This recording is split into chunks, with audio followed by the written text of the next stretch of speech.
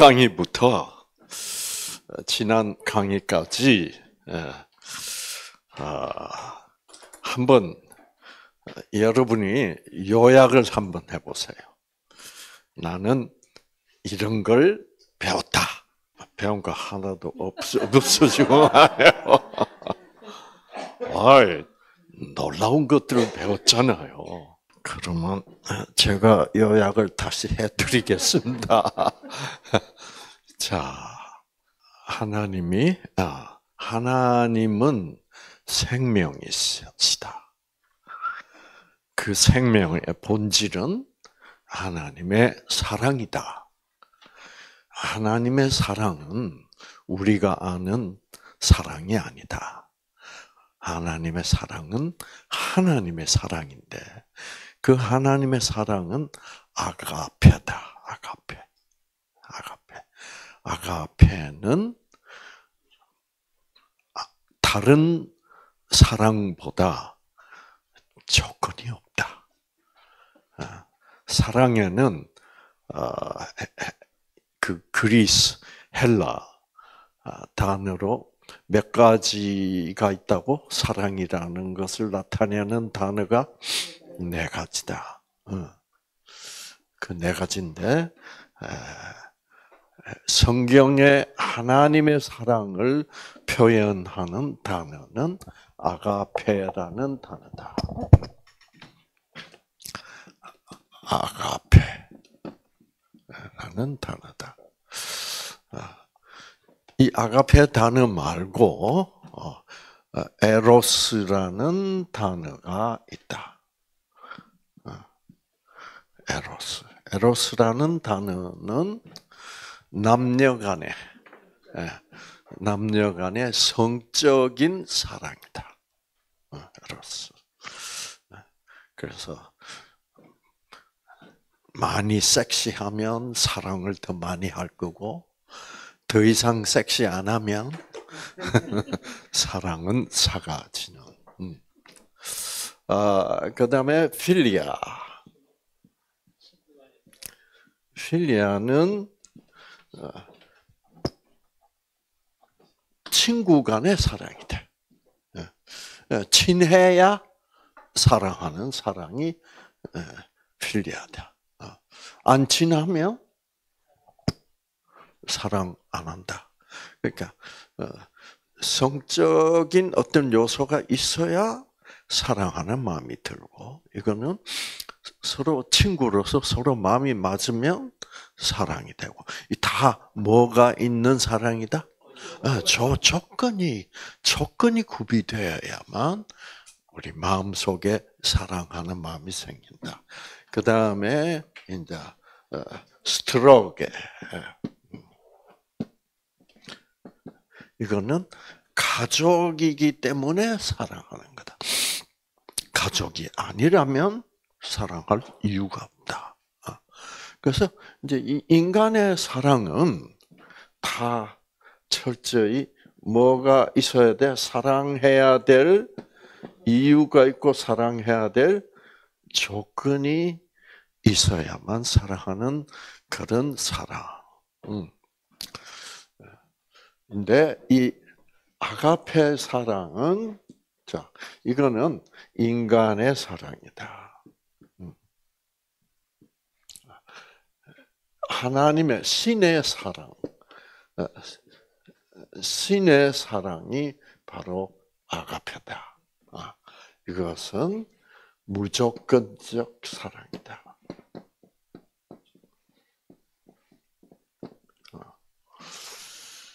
조건적 사랑은 한계가 있다. 왜 한계가 있어요? 어. 계속 사랑하고 싶어야 사랑하고 더 이상 지겨워지면 사랑 안 할 수도 있는 제한이 있는 사랑이다. 하나님의 사랑은 조건이 없고 무제한이 사랑이다. 그래서 무한 무한한 사랑이다. 어. 자, 그래서 어. 자, 그래서 이 신의 사랑은 바로 무엇이다? 어, 생명이다. 어. 인간의 사랑은 조건적 사랑인데 이거는 생명이 아니라 무엇이다? 인간의 사랑은 사망이다. 왜? 조건적이니까. 어, 조건적이라는 것은 아, 네가 상대방이 내 말을 잘 듣느냐, 잘 들어주느냐, 안 들어주느냐에 따라서 내 사랑이 달라질 수 있어. 그래서 내가 원하는 대로 말 잘 들어주면 사랑하고, 음, 안 들어주면 사랑 안 하고. 어. 그러니까 이런 사, 조건적 인간의 사랑은 누구 중심적 사랑이다? 자기 중심적 사랑이다. 어. 그 자기 중심적 사랑은 사실 사랑이라고 부르기 곤란하다. 자기 중심적인 그런 사랑은 그냥 이기심일 뿐이다. 그래서 우리 인간의 사랑은 결국 이기심과 또 상대방을 내가 원하는 대로 하게 만들려고 하는 욕심이다. 음. 그 이기심과 욕심은 아, 이기심과 욕심이 정상적인 인간의 속성이라면 우리 인간은 다 스트레스를 받을 수밖에 없다. 그 스트레스의 결과 아, 조건이 안 되면 미워하고 그렇죠. 어, 말 안 들어주면 화를 내고 예, 그러다가 보면 유전자가 다 꺼지고 어, 그래서 결국 어, 질, 어, 질병에 걸리게 되고 그 결과는 끝에 가면 결국 무엇이다? 사망이다. 그래서 우리 인간이 죽는 이유는 음, 아, 스트레스 때문에 죽는데 그 스트레스의 뿌리는 결국 조건적 사랑이다. 아, 자, 그래서 하나님은 생명을 주시는 분인데, 아, 이 세상을 보니까 뭐가 들어와 있다? 사망이 들어와 있어. 그래서 이 세상, 이 지구상에 사망이 있다는 것은 결국 뭐예요? 사망이 있다는 것은 어, 결국 이 세상 인간 인간 관계 속에 우리 인간을 지배하는 생각은 결국 조건적 사랑이 옳다는 생각이다. 어. 그래서 어, 생명만 하나님이 생명이시기 때문에 온 우주에는 뭐만 있어야 되는데 생명만 있어야 되는데 이 지구상에는 사망이 있다. 음. 음. 자, 이것이 이제 문제다 이 말이에요. 이 사망은 존재하면 안 되는 거예요. 그렇죠? 그러나 우리 모두 각자들에게는 사랑은 조건적인 사랑이 정상적이야. 그러니까 사망도 우리에게는 비정상이 아니라 뭐예요? 정상인 거지. 사람 뭐 나이 들어서 죽는 게 뭐 이상해? 정상이지. 우리는 이 비정상이 정상이라고 완전히 속아 있는 상태다. 음. 그렇죠? 어. 자, 그러면 이 생명은 생명은 신이 신의 사랑이고, 어, 즉 생명은 하나님의 속성, 무조건적 사랑이다. 그러면 이 사망이 어디서 왔느냐? 사망이 어디서 왔느냐? 어디서 출발했느냐? 라는 말은 조건적 사랑은 왜 어떻게 발생하게 되었을까? 그렇죠? 응. 그, 그것은 누군가가 하나님의 무조건적 사랑에 대하여 다른 의견을 가지게 되었다. 어. 누군가가 하나님의 무조건적 사랑에 대하여 문제점을 제기했다. 그래서 하나님의 그 생명에 대한 어, 문제점을 제기한 이유는 뭘까? 무엇을 알았더라면 아무도 문제점을 제기, 제기하지 않았을 텐데.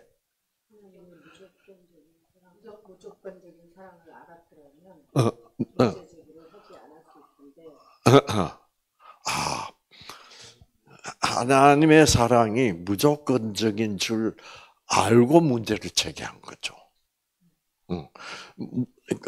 한마디만 거기에다가 첨가하면 되는데.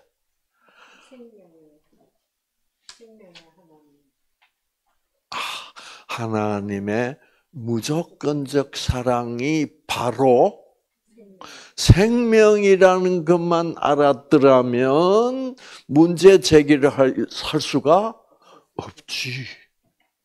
그렇죠. 왜? 아, 하나님의 사랑은 무조건적 사랑이구나. 그런데 이 무조건적 사랑이 생명의 본질이구나. 그걸 알아야지. 문제 제기가 된 이유는 어, 하나님의 사랑이 무조건적 사랑이 아니라도 생명은 따로 존재하는 것이라고 생각하는 생각이에요. 그러니까 하나님의 사랑과 하나님의 무조건적 사랑이 같은 것이라는 것을 몰랐다 이 말이에요. 그래서 이제 실제로 진리는 하나님의 무조건적 사랑이 바로 무엇이다? 생명이 다를 아는 것이 진리를 아는 것이야. 아시겠죠? 지금 어, 기독교 안에서도 이거를 어떻게 이걸 잘 모르고 있는 문제야. 어, 하나님의 사랑도 조건적이에요. 그렇죠. 말 안 들으면 죽여. 어. 그러니까 뭐가 빠져버린 거예요 지금? 진리가 빠져 있는 거야. 그러니까 이게 혼란 상태예요. 어. 그래서 성경에서 말하는 진리는 하나님은 사랑이고 그 사랑은 무조건적 사랑이고 그 무조건적 사랑이 바로 생명이다. 이것만 깨달으면 와 우리 모두는 무조건적 사랑을 해야만 되겠다는 생각을 할 수밖에 없죠. 왜? 조건적으로 갚으려면 우리는 우리에게는 생명이 뭐예요? 없어지니까. 이게 이제 이거를 그래서 무조건적 사랑 하나님의 사랑이 조건적이냐 무조건적이냐 이 자체가 중요한 게 아니라 진짜 중요한 것은 하나님의 무조건적 사랑이 곧 무엇이다? 생명이다. 이거를 알았더라면 문제 문제는 발생되지 않았을 거죠. 사단은 하나님의 사랑은 무조건적이라는 것은 알았어. 어. 그런데 자 무조건적이면은 그러나 사단은 뭐를 몰랐어? 그 무조건적 사랑 그 자체가 생명이라는 것은 몰랐던 거예요. 아. 그래서 여러분은 저도 의사가 아니고 또 뉴스타트를 하지 않았더라면 하나님의 무조건적 사랑 그 자체가 생명이라는 것을 어, 떻게 깨달을 수 있을까? 그건 정말 깨닫기 어려운 거예요. 그래서 유전자가 켜지고 꺼지고는 생기 때문인데, 그렇죠. 생기의 속성은 진선미인데, 그 진선미 속에 있는 그 힘, 그것이 우리에게 꺼진 유전자를 켜주고, 망가진 유전자를 어떻게 복구시키는, 암세포를 죽여주는 그런 에너지, 생기, 제가 의사가 아니고 그냥 신학 공부만 했다면 하나님의 사, 무조건적 사랑 자체가 생기라는 설명을 하기, 하게 되기는 상당히 어려웠을 거라고 저는 생각이 돼요. 음. 또 내가 의사라도 뉴스타트를 알아야 돼. 그렇죠. 어, 그래서 하나님의 사랑과 우리 인간의 유전자의 관계를 잘 관찰하면 거기서 진리가 나오는 거야. 하나님의 사랑은 무조건적 사랑이고 그 무조건적 사랑이 바로 우리 모든 유전자에게 생기가 된다. 생명이 된다. 그렇죠. 요거, 요게 이제 핵심이에요, 핵심. 그러면 그래서 하나님은 하나님은 우리에게 사랑도 주고 근데 그 사랑은 무조건적 사랑이고 그리고 하나님은 또 따로 뭐도 주, 주, 주신다? 생명을 주신다. 이렇게 알고 있으면 이게 흔들릴 수 있는 거죠. 그렇죠? 자 그래서 아, 그래서 이 조건적 무조건적 사랑은 틀렸고 이 조건적 사랑이 옳다라고 주장한 것이 바로 누구라 사단이라 아, 사단이라 아. 이렇게 되죠. 그래서 이런 무조건적 사랑은 안 된다. 왜? 무조건적으로 사랑하면 온 우주는 통치, 예? 통치 불능, 불능 상태, 어, 혼란 상태로 들어간다. 예, 이론적으로 맞는 말이야, 맞는 말, 맞는 말이지. 예. 그래서 어, 우리는 이 무조건적 사랑을 폐기 처분하고 어, 하나님은 모든 피조물들을 조건적 사랑으로 통치해야만 된다. 음, 조건적 사랑으로 통치해야만 된다는 말은 어, 말은 어, 강아지가 왔네요.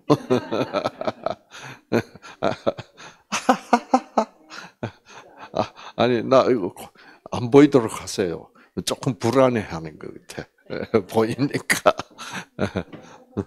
음, 음, 음. 자, 그래서 어, 어, 아, 그래서 어, 그 사단은 어, 그러니까 조건적 사랑으로 통치를 해야 된다는 말은 결국 무엇으로 통치해야 된다는 말이다? 법적으로.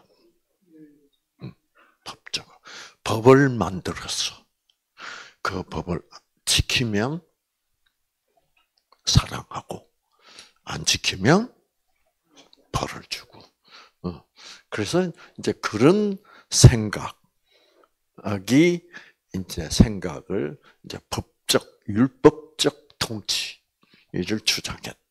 아, 그래서 어, 그래서 그렇게 하려면 무엇과 무엇의 다른 점을 연구를 해야 돼요. 무엇이 선이고 무엇이 악이냐를 결정을 해야 돼. 근데 그걸 결정하려면 어떻게 해야 돼? 연구를 하고 모여야 돼. 그래서 또 뭐, 또 뭐도 해야 됩니까? 토론도 해야 돼. 그래서 무엇이 선이냐, 무엇이 악이냐를 누가 결정해야 돼? 우리가 결정해야 된다니까. 예. 이제 그것을 해야 된다. 자, 그러면 여러분 사실 무엇이 선이냐, 무엇이 악이냐는 것은 누구 속 안에 달려 있어? 하나님의 속 안이야. 어. 그러면 자, 아, 선은 뭐예요? 선하신 분은 이제 성경 보면 이런 얘기가 나옵니다. 음. 어떤 사람이 예수님한테 와서 선한 선생님이여, 내가 무엇을 하여야 영생을 얻겠습니까? 그럴 때 예수님이 뭐라고 그런지 아세요? 그렇지, 네가 어찌하여 나를 선하다고 하느냐? 어, 어. 선하신 분은 하늘에 계신 아버지 한 분밖에 없느니라.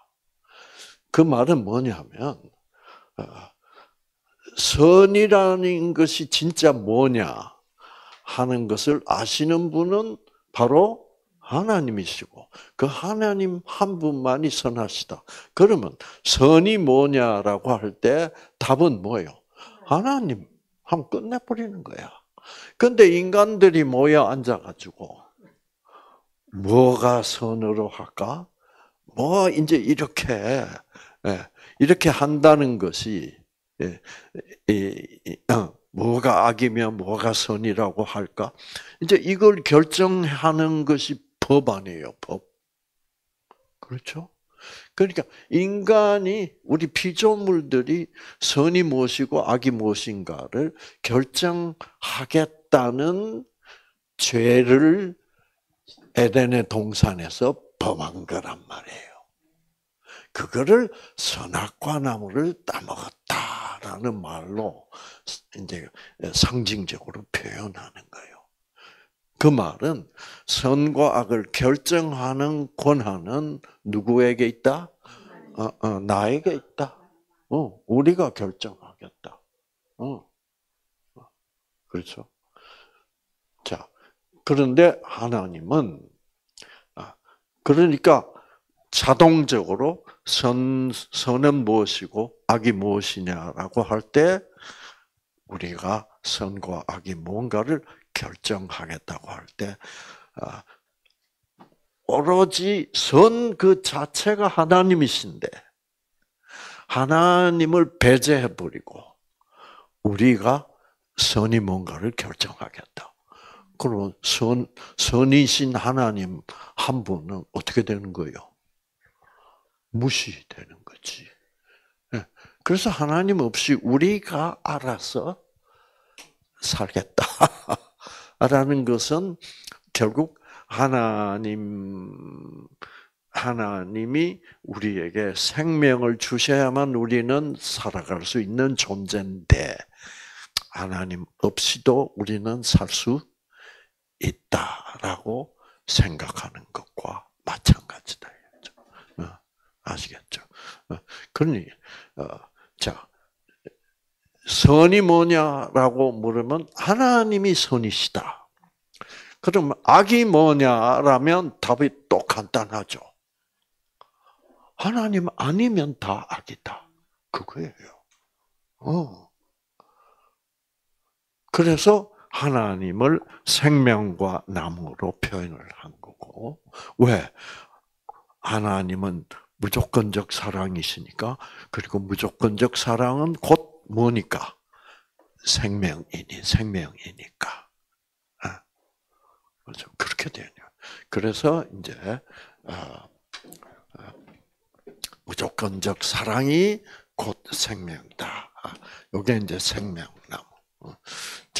그러면 이 하나님을 배제해 버리고 우리가 알아서 어, 어, 어, 어떤 어떻게 어떻게 행동하는 것이 선한 행동이고 어떻게 행동하는 것이 악한 행동이라고 우리가 뭐예요?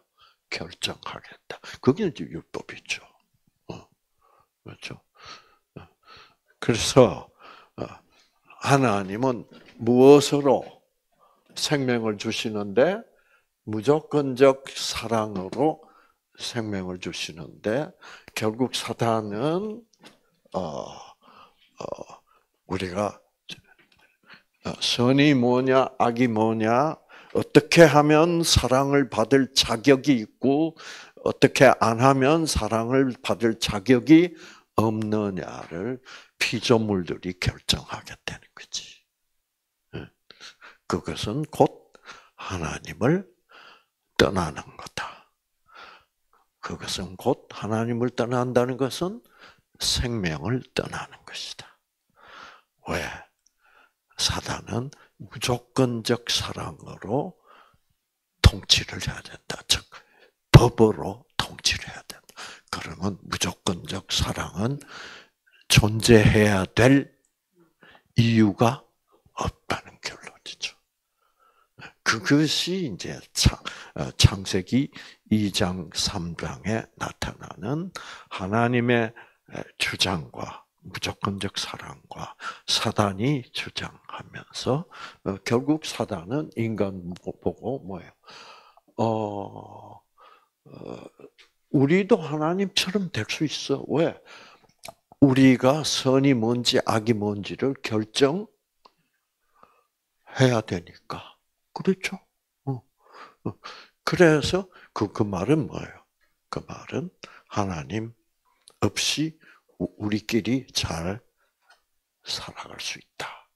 이게 이제 죄라는 거예요. 죄를 범했다는 말이 아직. 그런데 이런 스토리도 이런 해석도 결국은 무조건적 사랑이 생명이라는 것을 알아야만 이런 분석이 나올 수, 이런 결론이 나올 수 있는 거예요. 하나님의 사랑이 조건적이라면 방금 이렇게 분석한 그 결론은 결론에 도달할 수는 없는 거죠. 그렇죠. 이렇게 되는 그래서 이 조건적 사랑과 무조건적 사랑의 예, 전쟁, 그 논쟁을 성경은 하늘의 전쟁이다라고 불렀다 이거죠. 그래서 어, 그래서 그것은 요한계시록 12장 7절 하늘에 전쟁이 있었다. 이제 이렇게 되는 거죠. 그래서 조건적 사랑을 옹호하는 아, 악의 천사들과 하나님의 무조건적 사랑을 생명이고 그것을 옹호하는 이제 하나님의 천사들의 예, 논쟁으로 말미암아 이 우주는 어떻게 되게 됐다? 분열되게 됐다. 하나님이 꼭 이루어야 될 것은 무엇이다? 이 분열된 우주를 어떻게 통일시켜야 된다. 분열된 우주를 통일시킨다는 말은 아, 이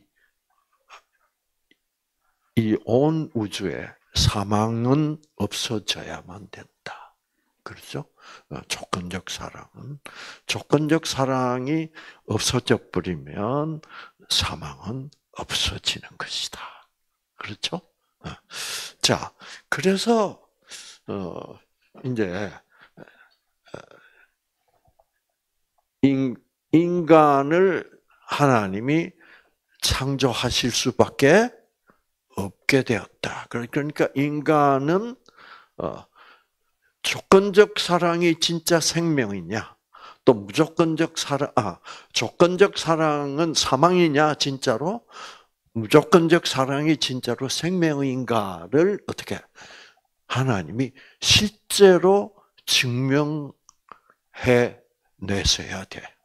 그래서 온 우주가 어, 그거를 보고 와 역시 무조건적 사랑은 생명이고 조건적 사랑은 뭐예요? 사망이구나를 모든 존재들이 피조물들이 확실하게 인지해서 어, 그 결론이 나야만 통일이 될 거 아니에요. 그렇죠. 그래서 우주 통일이라는 것은 이 선과 악, 아, 이게 이제 투쟁이고, 선은 무조건적 사랑이요, 또, 그리고 생명이요. 그 다음에 악은 뭐예요? 그건 조건적 사랑이요, 그것은 사망이다. 는 것이 밝혀져야 돼. 음. 네. 그렇죠.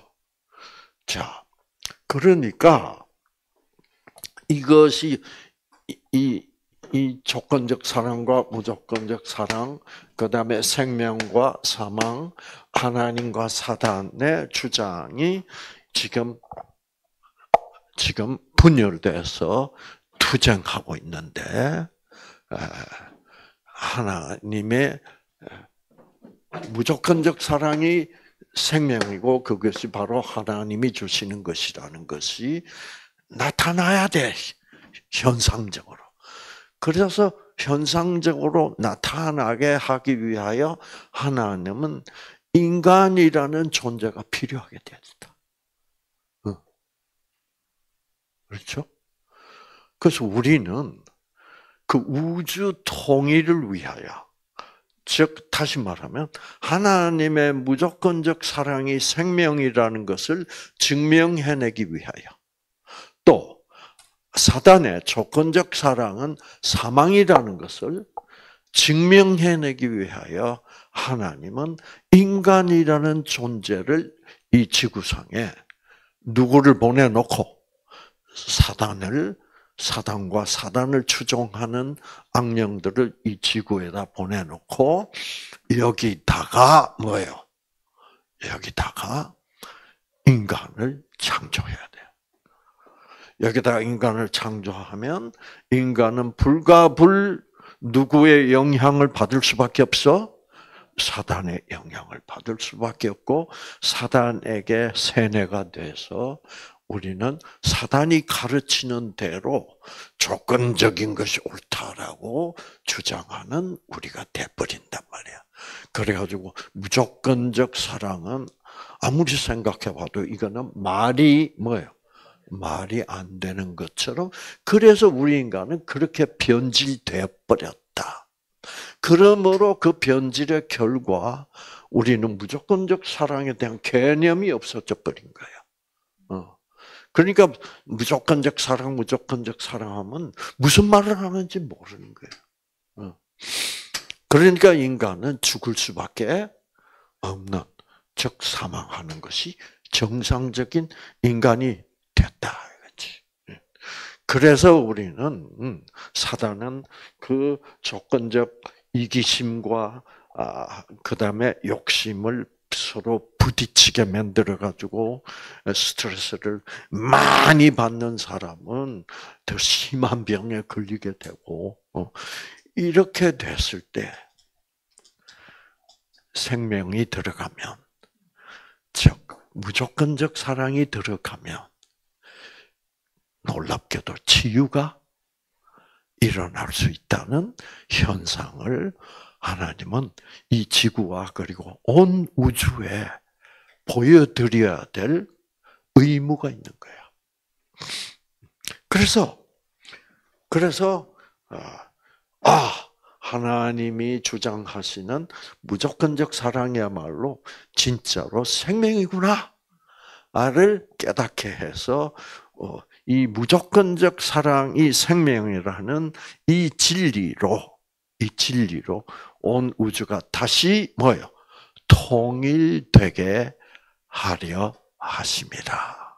그래서 전쟁이 있고 그 다음에 이게 워낙 성경의 근간이기 때문에 예, 제가 여러분에게 확실히 지금 정리를 해드리는 거예요.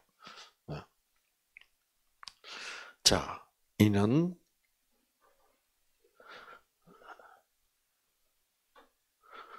때가 참 경륜 안에서 아, 하늘에 하늘에 있는 것이나 땅에 있는 것. 자, 하늘에 있는 것은 무조건적 사랑, 생명. 땅에는 뭐예요? 조건적 사랑, 사망. 그것이 다 그리스도 안에서 하나님의 무조건적 사랑을 나타내시는 그리스도 안에서 뭐 되게 하려 함이라 예, 통일 그러니까 우주 통일을 위한 아, 실험 실제로 보여주는 실험을 해야 되는데 그 실험 동물로서 그 실험 동물로서 어, 일회용으로 만들어 주신 것이 우리다. 음. 자, 그러니까 우리는 하나님께는 우리가 없으면 인간이 없으면 실제로 천사들에게 실제로 조건적 사랑을 받아들이면 결국 죽고 또 죽다가도 무조건적 사랑을 받아들이면 뭐예요? 다시 살아나고 어 질병이 치유가 되고 하는 뭔가가 뭐예요? 보여줘야 돼. 그러나 우리 인간을 이 지구상에 창조하지 않으시면 보여줄 방법이 없어. 방법이 없어. 예. 그래서 우리는 창조됐다. 어. 그렇기 때문에 우리가 죄를 지을 수밖에 없게 된 것은 결국은 하나님이 자기의 무조건적 사랑이 생명이라는 것을 증명해 주는 방법으로 우리를 죄인이 되도록 이 지구상에 창조하셨다 이 말이야. 어. 그러니까 우리들의 구원은 우리들의 생명은 누가 전적으로 책임지셔야 된다? 하나님. 하나님이 책임지셔야 된다. 그래서 하나님은 이 계획을 세우시, 이 계획은 언제부터 세우셨다? 창세 전부터. 예, 네, 창세 전부터.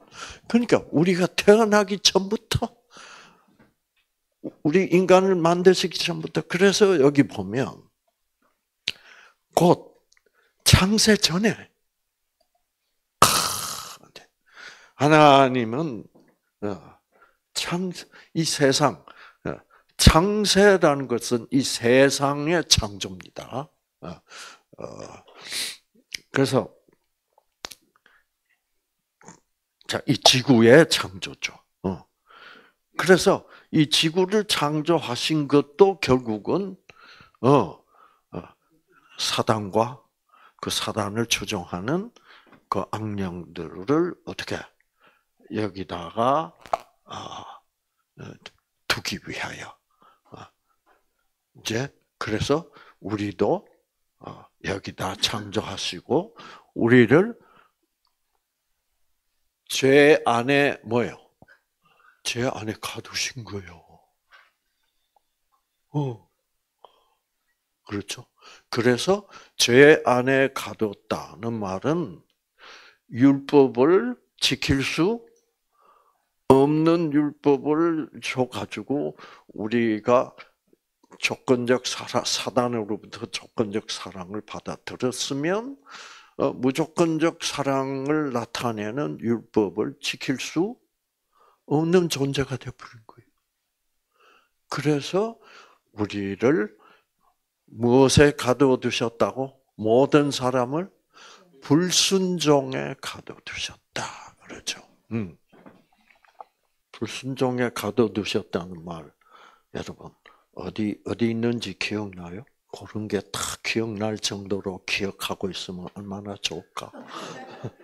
음. 하나님이 로마서 11장 32절 모든 사람을 순종하지 아니하는 가운데 가둬졌다. 예. 순종할 수 없어 하나님의 율법을. 음. 그 우리는 불순종에 가두어져 있는 거예요. 불순종에 가두어져 있단 말은 죄 아래 가두어져 있다. 죄 아래 가두어져 있다는 말은 사망, 죽을 수밖에 없도록 가두어져 있다. 이 말이에요. 그 이유는 그 이유는 모든 사람에게 예, 은혜를 베풀어서 즉 긍휼을 베풀어서 구원하시기 위하여 우리가 지킬 수 없는 율법을 주셔서 불순종, 죄, 사망 안에 가두셨다 이 말이야. 그렇죠. 왜? 왜? 왜 사망 안에 가두어야만 구원하실 수 있어? 죽여야 살리니까. 그렇지. 자, 그, 여러분 보세요. 여러분 아, 침에 강의할 때는 확실히 이해한 것 같았는데 예, 슬슬 따지고 들어가 보니까 뭐요? 아직도 확실히 이해가 뭐요? 안 됐다는 거예요. 음. 자, 그래서 어, 또 이제 갈라디아서 3장 아 21절 아 2절 자 성경이 율법이 모든 사람을 죄 아래 가두었으니 이는 아들 예수 그리스도를 믿음으로 말미암는 약속을 믿는 자들에게 뭐예요? 아, 약속을 믿는 자들에게 그 구원을 주려 하십니다. 약속을 주려 하십니다라는 무슨 약속이에요? 구원의 약속이죠. 그래서 자기 아들 예수를 우리 대신 아, 죽어 아, 우리를 우리를 위하여 대신 죽여 죽게 하셔서 자 하나님이 책임져야 됩니다. 그렇죠? 어, 그래서 하나님이 우리를 대신 죽으, 죽으실 수가 있어요. 왜 그래요? 하나님이 하나님의 목적을, 목적을 이루기 위하여 우리를 여기다 창조하시고, 우리를, 그리고 우리가 지킬 수 없는 율법을 주어서 못 지켜서 죽을 수밖에 했, 없게 했으니, 하나님이 우리를 대신 죽어주면 우리는 어떻게? 그 죽음으로부터 해방되는 거야. 이렇게 돼 있는 거야. 스토리가. 그렇죠. 그래서 그것을 이제 이렇게 계획하신 것은 이미 언제 했다? 창세 전에. 그래서 하나님이 지구상에 인간을 창조하시면 어, 어, 창조하셔서 이런 하나님의 계획을 이루시겠다는 그 계획하에서. 그래서 다시 창세 전에 그리스도 안에서 우리를 택하사 우리로 사랑 안에서 그 앞에 거룩하고 흠이 없게 하시려고 자, 자, 시점은 언제다? 창세전이다. 창세 전에 하나님은 하나님은 뭐를 계획했다? 우리가 우리 인간이 거룩하고 흠이 없게 하시려고 계획을 했다는 말은 무슨 말이에요? 창세 전에 하나님은 우리 우리를 만드신다면 우리는 거룩하지 않게 될 것이고 또 흠이 뭐요? 흠이 생길 것이고 즉 우리가 죄를 짓는다는 것을 아셨는데 그 흠과 그 죄, 죄를 지은 죄를 없애게 하시려고. 그러니까 하나님이 인간을 만드시기 전부터 자기가 이 세상에 인간을 만나면 인간은 죄인이 될 것을 아셨기 때문에 그것을 어떻게 없이 하고 인간을 구원하시려고 이 말입니다. 다시 거룩하게 하시려고. 그렇죠. 하시려고. 그러니까 하나님은 지구상의 인간을 창조하시면 인간은 죄인이 될 것을 어떻게 알고 계셨다는 거죠. 어, 어. 그래서 어, 그래서 그래서 없게 하시면 우리 우리로 거룩하게 하고라는 말이 중요한 말이에요. 거룩하게 하고라는 말은 즉 거룩 우리가 거룩하게 되면 누구처럼 돼? 하나님처럼 되는 거요. 하나님만이 거룩하신 분이니까 거룩하고 하나님만이 뭐야? 아무런 흠이 없는 존재. 그래서 우리를 하나님처럼 다시 새로운 피조물로 만들어 주시려고. 그러니까 이미 창세 전부터 계획을 하나님이 뭐예요? 짰어. 하나님의 목적은 이 계획의 목적은 뭐다? 우주를 통일시키기 위하여 이 우주 안에 죄가 없어지게 하기. 즉 죽음이라는 것은 더 이상 존재하지 않게 하기 위하여 온 우주는 생명으로 가득하게 하시기 위하여 그 일은 하나님이 반드시 해야 돼요, 안 해야 돼? 반드시 해야 되는 거예요. 네. 이제 이렇게 되면 우리의 존재는 내가 이 지구상에 존재한다는 것은 하나님에게는 절대적으로 필요하게 됐단 말이야. 우리는 그런 존재다, 야 그냥 뭐 이 세상에 왜 태어난지 모르게 태어나가지고 고생만 실컷 하다가 어? 100살도 못 돼서 죽어버리려고 태어난 것은 아니다 이거야. 그래서 우리 자신들이 성경을 통하여 쫙 공부를 해보면 아 이래서 내가 이 세상에 태어나게 된 것이구나. 무엇을 무엇을 위하여 하나님의 계획, 곧 우주의 무조건적 사랑으로 생명으로 통일되는 것을 목적으로 우리를 사용하시려고. 그러니까 우리가 어, 살아가다가 예, 죄 짓고 죽게 되고 이런 모든 것은 죽음 자체, 우리들의 죽음 자체도 하나님이 어떻게 책임을 주셔야 될 거 아니야. 그러니까 아들 예수가 대신 책임지고 우리를 죽어도 어떻게 다시 부활해서 거룩하고 흠이 없게 되게 하셔야 될 거 아니야. 그렇죠. 이거야. 예. 그래서 우리를 그래서 그 기쁘신 뜻대로 우리를 예정하사 이건 이제 예정이 아니라 뭐라 그랬습니까?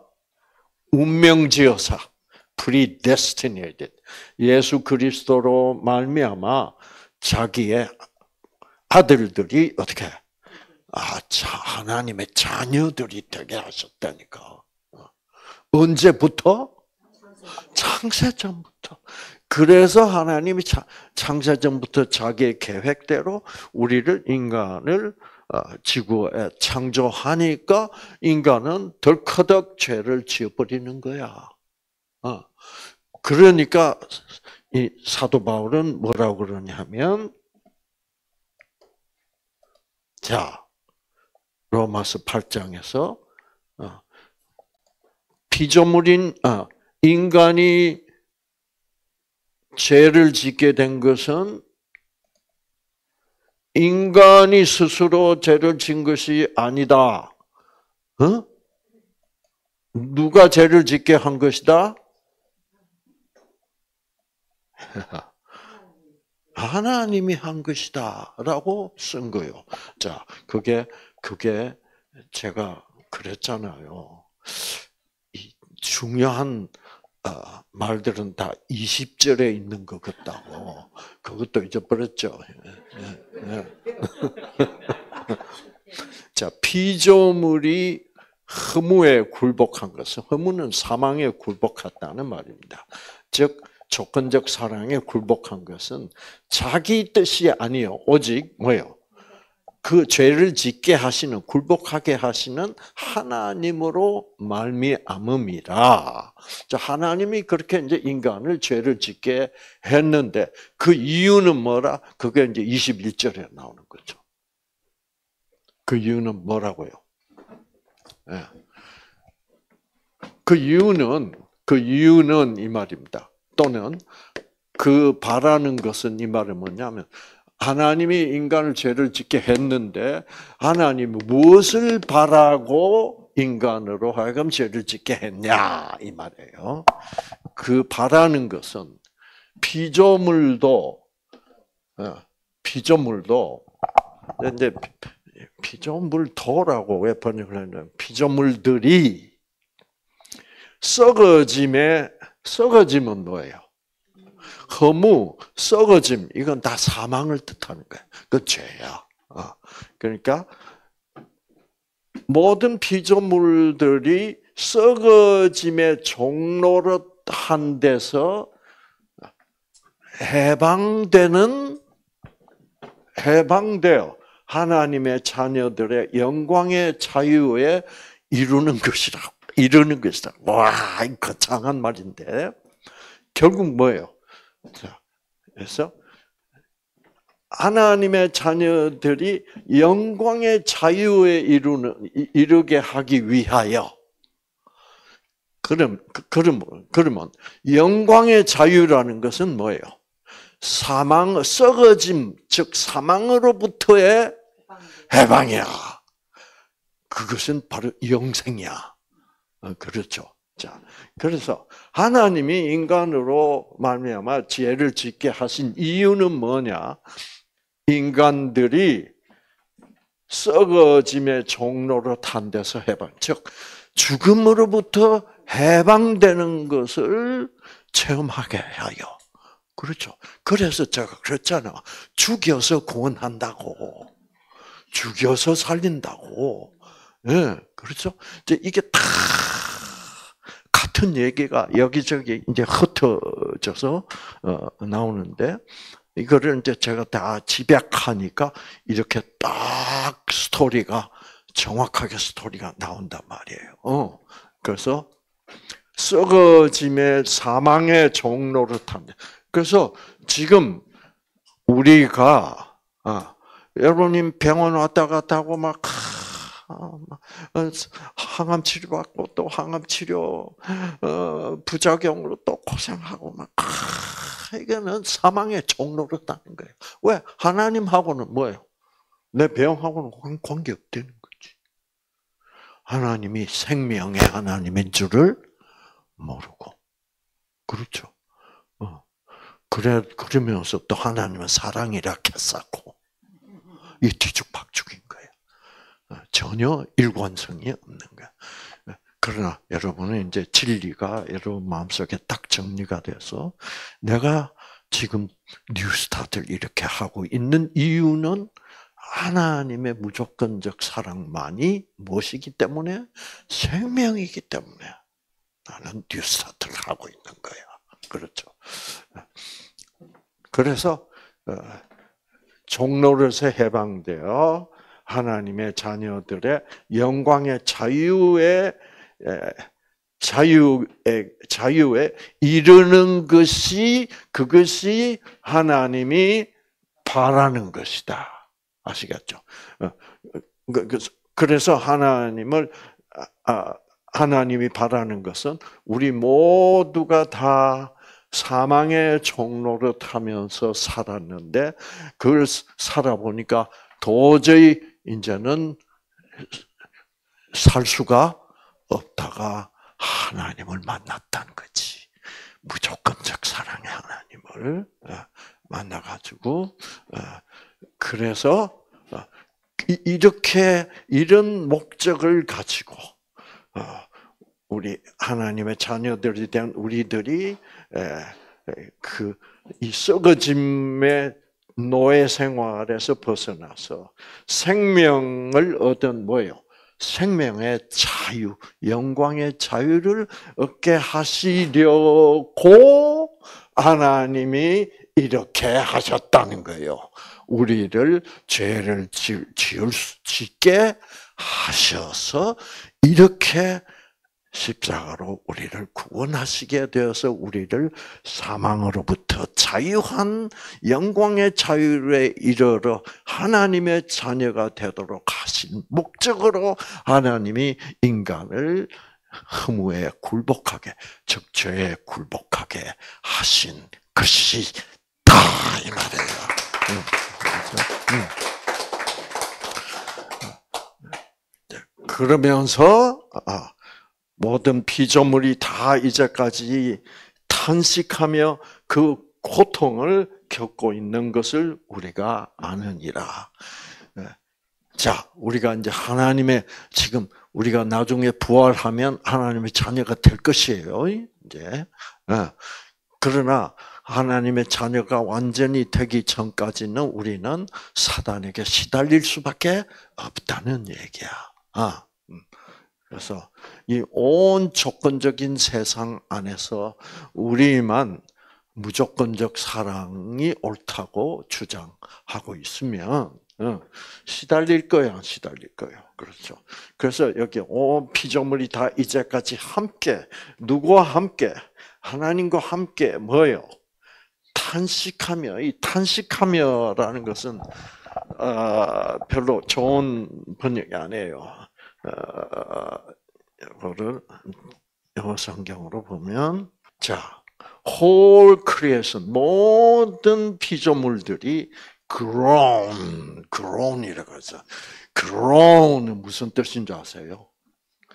시, 고통으로 신음한다는 뜻이에요. 어, 힘들어. 어, 죽겠다. 우리는 이렇게 살고 있다는 거예요. 그래서 그래서 우리 각자들을 다 보면 나를 신음하게 하는 요소들이 아직도 있어 없어. 어, 그거는 사단이 완전히 나를 어, 나로부터 물러서 버린 것이 아니고 나를 어떻게 해서든지 뭐요 괴롭혀서 결국은 내가 어떻게 하는 것을 바라면서 하나님이 왜 아니야 하나님 믿는데 왜 하나님이 나를 이렇게 힘들게 하느냐고 그러면서 하나님을 원망하게 하려고 사단은 계속 괴롭힌다 아시겠죠? 그래가지고 이제 결국은 자, 하나님이 미리 아신 자들을, 미리 아신 자들은 누구예요? 우리야. 어, 미리는 언제부터? 창세 전부터. 우리를 창조하기 전부터 우리를 아셨어. 미리 아신 자들을 또한 그 아들의 형, 어, 형상을 본받게 하기 위하여. 어, 자, 아들의 형상, 아들의 형상은 누구의 형상이에요? 아들 예수 그리스도 형. 그래서 우리는 아들 예수 그리스도처럼 될 것이다 이 말이야. 어, 와, 이게 여러분, 우리는 보통 사람들이 아니요. 지금은 좀 힘들더라도 참으시라 이 말이야. 예. 우리는 이건 이거는 사람들이 이 성경을 몰라서 그렇지. 이거를 깨닫고 나면 뭐 어떤 힘든 일이 와도 어떻게? 어. 인내할 수 있을 만한 그런 장래가 기다리고 있잖아요. 와, 그리고 그것이 장래이기도 하지만은, 어, 현실적으로는 내 마음 속으로는 나는 이미 하나님의 자녀가 되어 있는 거 아니에요. 박수. 응, 그렇죠. 응, 응. 그러니까 이 성경 말씀이란 것은 현실은 힘들지만 장래는 뭐예요? 드디어 우주는 통일될 것이고 사망은 뭐예요? 없어질 것입니다. 아시겠죠? 그러면서 사망이 없어져 버리면 자연스럽게 뭐 많이 있을 거요? 생명. 그것도 어떤 생명? 영생, 영원한 생명 안에서 살게 될 것이다. 아, 아. 그때는 그때는 이런 김새는 투표도 안 해도 돼, 아. 그렇죠. 아. 우리는 아직도 덜 떨어져 가지고 뭐 이겼네, 졌네, 캐서고 그러면서 속상해 죽겠어 참말로. 그렇잖아. 예. 이렇게 되어 있는 거야. 그래서 막 이렇게 우리의 세상 현실에서는 이렇게 힘들지라도 궁극적으로 이런 거 다 뭐요? 다 지나가고 헛것이다 이 말이에요. 어, 앞으로 우리에게 다가올 것은 이 영생, 하나님의 찬, 예수 그리스도의 형상을 받아서 우리도 예수님 같은 하나님의 아들로서 영원히 생명을 그, 그 상상 부르죠. 현재의 고난은 장차 우리에게 나타날 영광과는 비교도 안 될 테니까 너무 힘들어하지 마라. 어, 나도 힘들어. 그래서 여러분, 그래서 아, 여러분 지나가는 이 세상의 것은 다 지나갑니다. 아시겠죠? 그거를 철저히 믿으셔야 돼. 예. 그 성경 보면 이 지구도 없어져 버려. 불타서 없어져 버려. 모든 것은 그 현재 있는 것은 우리가 이것은 영원히 있을 게 아니고 일회성이야. 무엇을 위하여? 우주 통일을 위한 일회성 실험장일 뿐이야. 그러면 실험이 끝나면 어떻게? 다 없어져 버려. 그래서 어, 이 성경에서 어, 이게 여러 번 나오는 말씀인데 어, 이 어떤 말이 나오냐면 came to pass. 아, 어, came to pass 이게 몇 번 나오냐고 하면 456번 나와. 온 성경에. 자.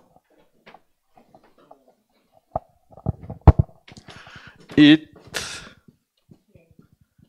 came came은 왔다야. 그렇죠?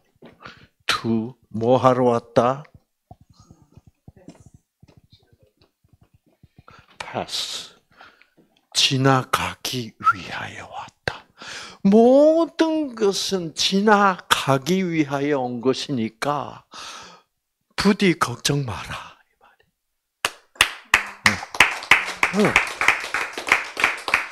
저도 저는 이 말에 대하여 이 말에 위로를 많이 받았어. 음.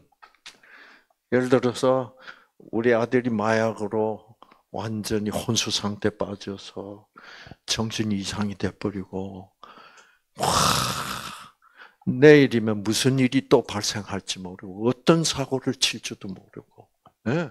막 이럴 때는 그리고 우리 딸은 또 마약 때문에 감옥에 가 있고 이럴 때는 막 죽고 싶어 그냥 어 그런데 한번 이제 제가 미국에서 예수를 믿게 됐으니까 이제 성경은 영어 성경으로 주로 공부를 했거든. 근데 저 말이 나오는 거예요. 어떤 사건이 발생했는데 그 사건은 왜, 왜 나에게 왔냐고? 나에게 와서 영원히 함께 하기 위하여 온 것이 아니고 지나가기 위해서 온 것 뿐이야. 그런데 내가 그 당시 그 일을 당했을 때는 그 상황이 꼭 영원히 갈 것 같았더라고. 근데 지금 돌이켜보면 다 지나갔어, 안 갔어? 지나갔다고. 어? 모든 이, 이 지구상, 이 세상에서 나에게 다가온 일들은 남아있을 거 하나도 없고, 다 지나가기 위해서 네, 온 것이다. 네. 그 실제로 보면 이 세상에서 우리가 겪은 일들은 결국 다 보면 뭐예요? 지나갔어, 안 지나갔어? 지나갔어요. 그래, 그러니까 지금 와 있는 암, 암도 그렇게 붙들지 말라고.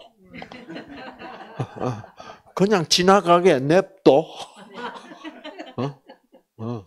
조금 살다가 가라. 어. 그래서 이 지구상에, 이 세상에서 일어나는 일은 우리와 영원히 함께 있을 것은 하나도 없다. 가버려. 그래서 보면 다. 그래서 우리가 힘들게 하나님을 하나님의 진리를 어, 우리가 가져서 그것을 어, 다른 사람들에게 나눠주고 가르치고 어. 이런 하나님의 일만이 영원한 거지 이 세상 일들은 뭐예요? 아무리 좋은 일이고 아무리 힘든 일이라도 모든 것은 다 everything came to me to pass 지나가기 위하여 온 것이 뿐이다. 우리 나중에 천국 가서 이 얘기 또 합시다. 가서 다 지나갔네요. 네, 그렇죠? 그래서 예, 어, 어, 그거 이거를 이렇게 번역을 안 했어. 한국 성경은 어떻게 번역을 했냐면 이 이게 영어 성경은 456번 나왔으면 여러분 이게 너무 자주 나오니까 한국말 성경은 그냥 이 일이 또 지나가기 위하여 왔으니 이렇게 번역하기가 싫었던 모양이야. 뭐라 번역했냐면 그 일 후에 이래 버렸어. 그러니까 원작자가 쓴 그 의도를 한국 성경 번역가들은 그걸 그게 이게 중요하니까 계속 같은 소리를 어, 기록을 일부러 해놨음에도 불구하고 그걸 그냥 간과해 버렸어. 네. 그래서 한국말 성경은 지나가기 위하여 왔다는 말은 없어요. 이게 번역을 그렇게 정확하게 안 해버리고 그냥 어그 이후에 음, 또 다른 일이 생겼다. 뭐 이런 식으로. 그래서 이제 이걸 영어 성경을 보면 이게 자꾸 나오는 거야. 어, 어, 왜 이렇게 자꾸 나올까? 아, 맞구나. 하나님은 이 지구상에서 일어나는 모든 사건 다 영원한 것도 아니고 아무 의미가 없는 것이다. 음, 다 지나가기 위하여 온 것이다. 그래서 음, 여러분에게 여러분도 아, 이제 뉴스타트를 알고 생기를 받으면 암이 아직도 여기 있는 것 같지만은 하나님에게는 다 이미 이미 끝난 거다 말이 아시겠죠? 그래서 그렇게 생각을 그, 그리고 우리도 흙으로 돌아갈 버릴 것이고 지구 자체도 뭐요? 지구 자체도 없어질 것이야. 아, 그래서 어, 이제 또 내가 새 하늘과 새 땅을 봤다. 어, 새 하늘, 새 우주와 새 지구를 보니 처음 하늘과 처음 있던 우주와 처음 땅이 없어졌고 바다도 없더라. 지금 우리가 그 이, 이, 지금 우리가 살고 있는 이 지구는 지금 뭐가 돼 버렸어요? 쓰레기장이 됐잖아. 지금 이 우주도 온통 쓰레기예요. 어. 그 이거는 앞으로 영원히 있을 수도 없다. 없을 만큼 쓰레기장이 될 것이다고 벌써 어, 선지자들은 뭐예요? 하나님의 영감을 받아서 이렇게 기록했던 거예요. 뭐 이런 게 이런 더러운 곳이 예, 영원히 존재할 수 없다. 그래서 이것은 없어지고 어, 이제 어, 새 땅과 새 하늘이 기대하시라. 예, 기대하시라. 네. 자, 그래서 자 이제 요약이 확실히 됐기를 바랍니다. 예, 예. 그래서 이거는 성경 전체를 앞으로 이해하는 데 있어서 너무너무나 중요한 거예요. 어.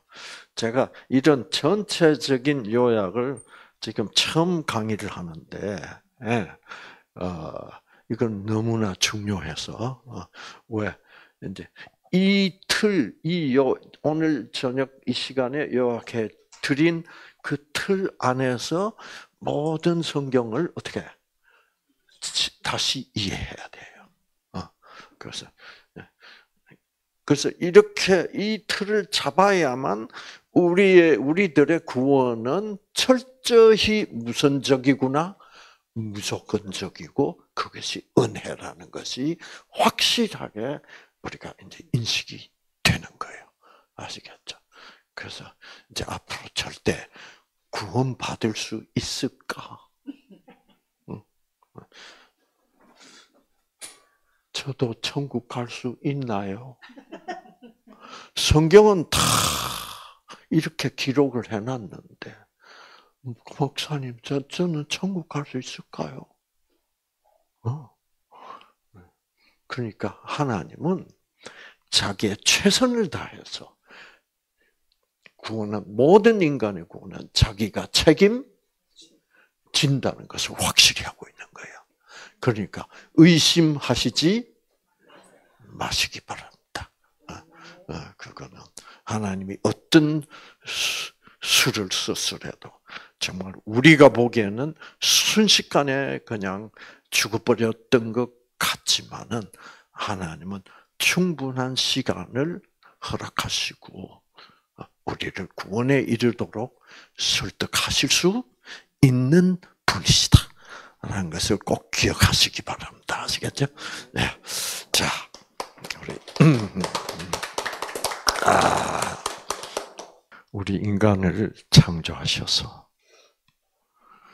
정말 사망을 없이 하시려고 우리 인간을 창조하셔서 이렇게 하나님도 고통받으시고 계시면서 정말 우리를 우리 인간을 사용하셔서 결국 하나님의 진리, 하나님의 사랑은 무조건적 사랑이며 그 무조건적 사랑 그 자체가 바로 생명이라는 이 진리를 하나님이 온 우주에 보여주시기 위하여 증명하시기 위하여 이렇게 우리 인간과 그리고 하나님의 아들과 하나님 모두 우리가 하나가 되어서 이렇게 고통 속에 있습니다. 예수님이 재림하실 때까지 이 고통은 계속될 것입니다. 음. 그러나 우리는 하나님의 약속을 믿는 그 믿음으로 어, 어떤 고통이 오더라도 우리는 희망을 버리지 않고 희망 속에서 살 것입니다. 하나님, 어, 우리를 어, 우리에게 아무리 격심한 고통이 오더라도 우리는 하나님과 함께 하고 있으며 하나님은 약속을 반드시 지키시는 주님을 믿는 그 믿음으로 끝, 어, 끝내 우리가 하나님을 떠나지 않도록 꼭 붙잡아 주시고 우리와 함께 동행하여 주시옵소서. 예수님 이름으로 기도합니다. 아멘.